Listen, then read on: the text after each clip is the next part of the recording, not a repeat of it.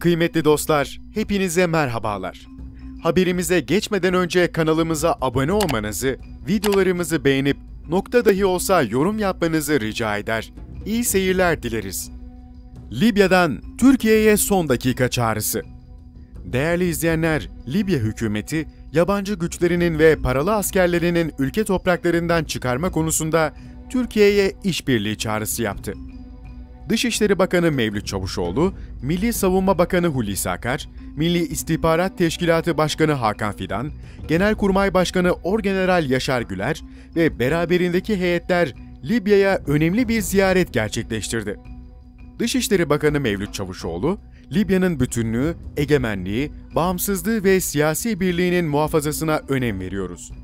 Yüksek düzeyli stratejik işbirliği konseyindeki konuların takibini ele aldık.